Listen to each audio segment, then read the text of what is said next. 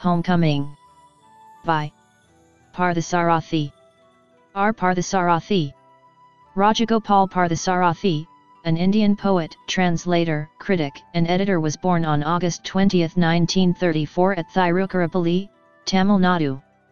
Studied at Don Bosco High School and Siddharth College, Mumbai, and Leeds University, UK. Worked as a lecturer in English literature in Mumbai.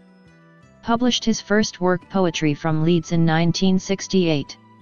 Received Sahitya Akademi Award for Translation in 1995. Homecoming. Published in the collection Rough Passage, a collection of poems from 1961 to 1975.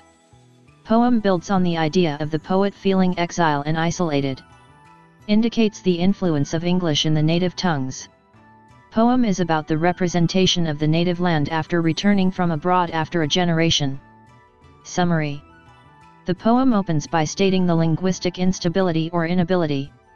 The poet addresses his mother tongue and states that his tongue is chained with English and after a generation he is returning to his motherland.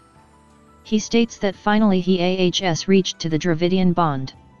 He indicates the difficulty he faces while speaking his mother tongue, Tamil. He falters, stumble, and feels it difficult to utter the words like the other people who are twisting the old language and giving a new versions as seen in the cinemas. At present it is totally changed and the glory of the language used by Nammalvar is diminished. His hope of bringing back the glory of the language fades as he hears people using Tamil with an articulated manner. He is questioning how long the foreign poets can provide the staple of the lines in this language. He asks the readers to think of the past and recollect how they have been motivated by the elders to speak in Tamil. He indicates a family reunion which happened after 1959, when his grandfather died. The family members gathered at Tiruchendur by crowded buses with huge load of memories of the past years. They sit there on the steps without any formality and had their conversation and also the packed food they bought. He indicates a character Sundari, a 40 years old woman who is moving here and there. The poet remembers her spending time with him near the tamarind tree in her long skirt every morning. At present she is married and has three daughters clinging to her like three planets. The poet finds it difficult to relate himself with his relatives.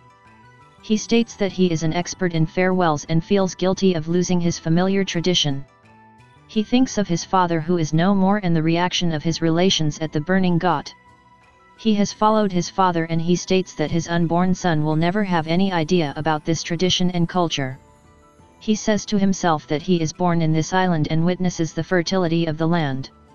He is not satisfied with the present sight of the nature there. The fertility brought by the river is no more available and dryness and drought has occupied it. He indicates the dusty atmosphere there. Walking through the streets covered with dust and crowd he is now moving to retire in his own home. The poet is longing and also missing the past nature and all glorious tradition and culture. He returns to his bed with a heavy heart of missing the past.